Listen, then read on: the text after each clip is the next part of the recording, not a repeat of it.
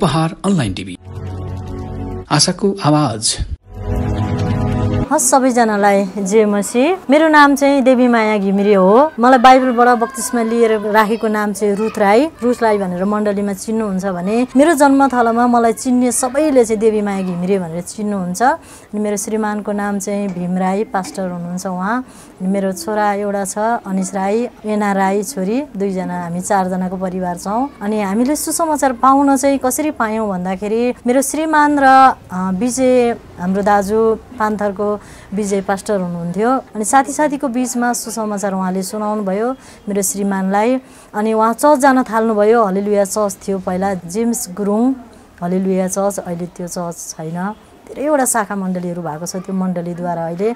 अनि उहाँको हातबाट बत्तिसमा लिनुभयो उहाँले। अनि जानुभयो जाँदा जाँदै उहाँभन्दा म एक महिना पछाडि गएको हो। अनि क्रिसमस कार्यक्रम थियो। हाम्रो चर्च सानो भएको कारणले अनि त्यहाँको पास्टरनी आमाले अनि अगुवाजनहरूले बहिनीलाई पनि लिएर आउनुहोस् है भन्नुभएछ। अनि त्यो क्रममा म क्रिसमसको दिन गएँ। हाम्रो शङ्ख पार्कमा मनाइयो क्रिसमस। अनि त्यहाँबाट दाईहरूले मलाई कोठामा लिएर जानुभयो हाम्रो परिवारलाई। अनि जाँदाखेरि मलाई त्यहाँभित्र हामीले खाजाहरू खायौँ यताउति गऱ्यौँ। बस्नै सकेन। एकदमै बस्न सकेन। किनकि मेरो मनमा चाहिँ आगोको भुङ्ग्रो जस्तो एकदम मन पोलेर आयो। के कारणले भन्दाखेरि मैले अहिले पछि बुझ्दै जाँदाखेरि चाहिँ म भित्र भएको दुष्टले चाहिँ त्यहाँ बस्न नदिएको रहेछ। अहिले मैले पढ्दै जाँदा जब वचन पढ्दै गएँ जब वचन सुन्दै गयौँ मण्डलीमा वचनहरूले भनेको वचनहरू बुझ्दै जाँदाखेरि चाहिँ म भित्र चाहिँ एउटा दुष्ट आत्मा भएको कारणले चाहिँ म त्यो भित्र बस्न नसकेको रहेछु भन्ने कुरा अहिले चाहिँ मैले बुझेँ। त्यो समयमा मैले बुझ्न सकिरहेको थिइनँ। अनि त्यहाँबाट त्यो क्रममा क्रिसमसको दिन गएँ जाँदा जाँदै अनि हामी निरन्तर जान थाल्यौँ। निरन्तर जाँदाखेरि अनि अलिलुया चर्चमै हामीलाई बक्तिसमा दिनुहुने पास्टर बुवा Abram गुरुबा Abram Shrestha Simon Shrestha अनि धेरै अगुवाहरू हुनुहुन्थ्यो। हामीले हलिलुयामै बक्तिसमा लिएको हो। अनि त्यो क्रमदेखि एकदमै अनि मेरो बाबु धेरै बिरामी थियो। पहिला संसारमा हुँदाखेरि धेरै अति बिरामी हुने एक दिन धामीकोमा लगिन्थ्यो भने अर्को दिन डक्टरकोमा लानु पर्थ्यो एकदम मेरो बाबु चाहिँ दिशा गर्ने पानी जस्तो दिशा कहिले साह्रो दिशा नगर्ने अनि दुष्टले गाँजेको रहेछ त्यो समयमा अनि संसारको धामी लाउँदाखेरि त्यो चाहिँ विषेक भयो। अनि अशान्ति थियौँ हामी एकदमै अशान्ति थियौँ धेरै गरिबी थियो त्यो समयमा है। नानीहरू पढाउन पनि नसक्ने ज्याला त्यो बेलामा थोरै थियो कामको ज्याला होइन। एकदमै थोरै थियो कोठा भाडा पनि तिर्न नसक्ने अवस्थामा थियौँ हामी। अनि जब विजय दाजुले हामीलाई सुसमाचार सुनाउनु भयो चर्च जान थाल्यौँ। त्यहाँबाट हामी परमेश्वरमा अगाडि बिस्तारी क्रम बढ्दै बढ्दै जाँदाखेरि अनि प्रभुले चाहिँ हाम्रो जीवनमा धेरै आशिषहरू दिनुभयो अहिले आएर। कसरी भन्नुहुन्छ भनेदेखि हामीले नसोचेको कामहरू हाम्रो जीवनबाट हुँदै गयो। पास्टर हुने योग्यको थिएनौँ हामी होइन? त्यहाँबाट हामी छुटेर हामी सेवाकाई गर्दै जाँदा अहिले गालिन मण्डलीमा हामी सेवाकाई गर्दै गएका छौँ अनि हामीलाई धेरै परमेश्वरले आशिष दिनुभएको छ आर्थिकमा होइन? आर्थिकमा धेरै आशिष दिनुभएको छ। आत्मिकमा अब रोगी बिरामी आउनुभयो भने प्रार्थना गर्दा निको भइरहेको छ छुटकारा भइरहेको छ। दुष्टले समातेको मानिसहरू धेरै आयो यहाँ। छुरी हानेर आफैलाई छुरी हान्ने खालको मानिसहरू पनि आयो। प्रार्थनाबाट चङ्गाई भयो होइन? अनि त्यति मात्र नभएर अहिले हामीले लगभग हामी सुरुमा चार परिवारबाट सुरु गरेको सेवाकाई हो यो। अहिले हामी साढे डेढ सय दुई सयजना जति हुन्छौँ तर अहिले सबै मेम्बर छैनौँ। हामी विभिन्न कार्यले गर्दाखेरि हाम्रो दाजुभाइहरू गाउँतिर कोही कता जानुभयो कोही कता जानुभयो अरू अरू मण्डलीमा सङ्गति गर्दै हुनुहुन्छ उहाँहरू होइन? परमेश्वरले चाहिँ हाम्रो जीवनमा धेरै अनगिन्ती आशिष दिनुभएको छ। किनकि हामी धेरै गरिबी दुःखमा थियौँ कोठा भाडा तिर्न पनि नपुग्ने अवस्थामा थियो त्यो बेलामा। अहिले प्रभुलाई विश्वास गरिसकेपछि परमेश्वरले कसरी हामीलाई ढोका खोल्नुभयो हामी आफै नै थाहा छैन। त्यो आशिषहरू हामी वर्णन गरेर वर्णन गर्ने स ऊ नै छैन कि हामीसँग। छोरा त सजिलै अनि जब हामी प्रभुमा गयौँ धामी झाँक्री गरेर त्यो समयमा केही समय त निको भयो होइन? केही समय निको भयो कान्तिमा लग्यौँ मुटुमा पुवाल परेको छ भनेको थियो डक्टरले होइन? अनि हामीले प्रभु नपाउँदैखेरिको समय त्यो चाहिँ मुटुमा पुवाल परेको छ तपाईँ दिल्ली जानुपर्छ छोराको अपरेसनको लागि तपाईँको यहाँ अपरेसन छैन भनेर चाहिँ कान्तिको हस्पिटलले भन्नुभएको थियो। अनि हामी सोच्यौँ एकताल सोच्यौँ पनि जानु पर्ला भन्यो। फेरि काम गर्ने क्रममा गर्दा गर्दै अनि त्यो विजय दाईसँग भेट भयो। अनि नानी पनि जन्मिसकेको थियो। अनि मुटुमा पुवाल परेको छ भनेको थियो डक्टरले तर हामीले त्यतिकै धामी लायौँ त्यो समयमा मेरो बाबुले कस्तो दिशा गर्थ्यो भन्नुहुन्छ भने हाम्रो यो कालो कपडा जस्तो दिशा पनि गर्थ्यो है। दिशामा कालो किरा जान्थ्यो। अनि त्यहाँबाट फेरि भएन सेतो किरा पनि गर्थ्यो दिशामा। अनि त्यतिकै हामी निराश भइरहेका थियौँ। अनि एउटा धामी बाजे हुनुहुन्थ्यो। उहाँले झारफुक गरिदिनु भयो। केही समयलाई टाढा गयो होइन। तर व्यथाले त भेटेन भेट्नु त। तर हाम्रो हृदयमा त एउटा असन्तुष्टि अनि त्यहाँबाट एकदमै अशान्ति अनि एकदमै गरिबी ती कुराहरूले हामीलाई एकदमै जकडेको थियो। एकदमै अशान्तिमा थियौँ हामी।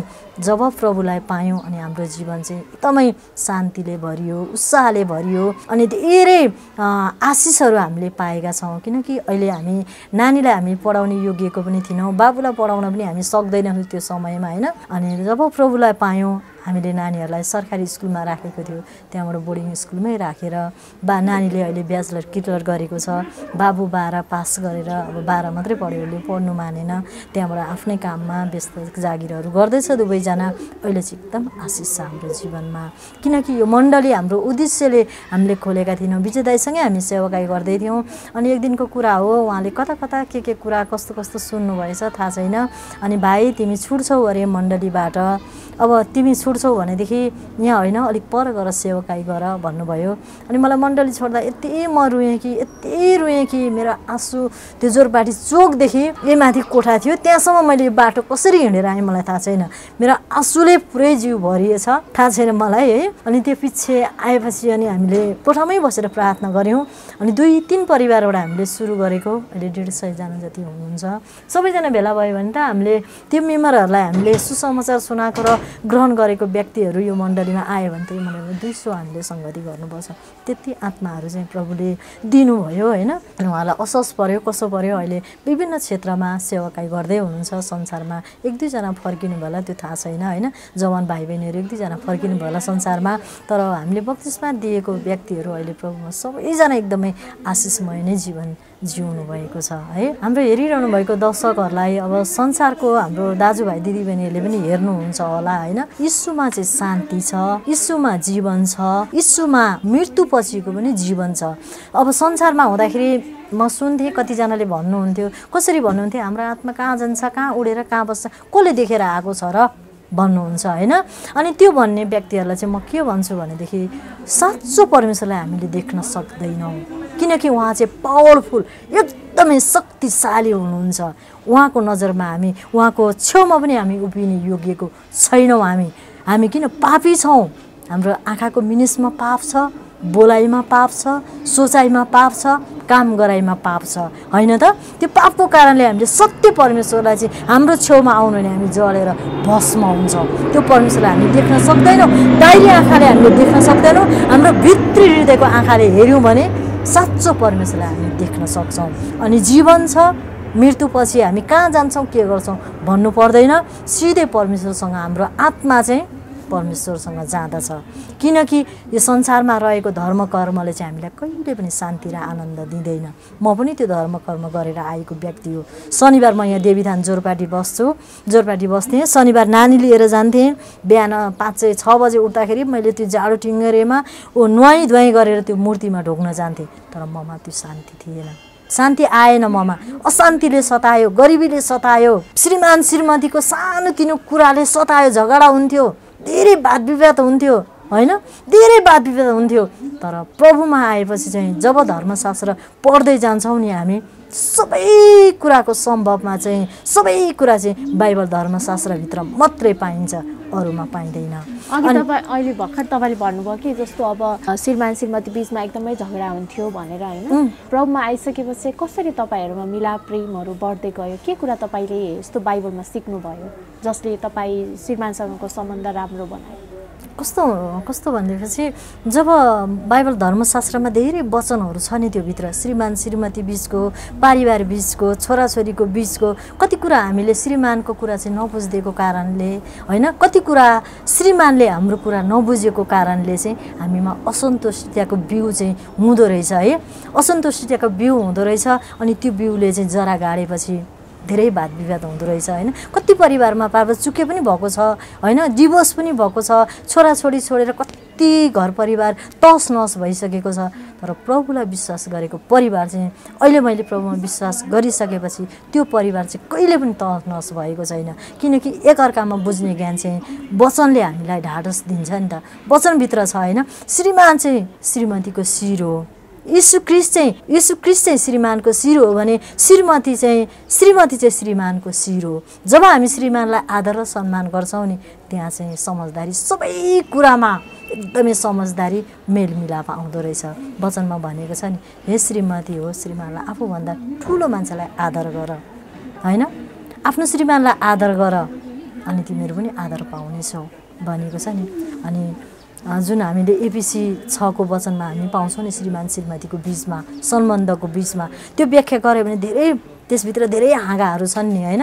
जब हामी वचन प्रभुलाई विश्वास गरिसकेपछि अनि प्रभुको वचनमा हामी रह्यौँ भने चाहिँ हामीमा असमझदारिता केहीमा पनि छैन। सबै कुरामा समझदारिता छ सबै कुरामा मेलमिलाप छ अनि विश्वासको जगमा हामी अगाडि बढ्नु पऱ्यो विश विश्वासलाई चाहिँ स्थिरता कायम गर्नु पऱ्यो होइन?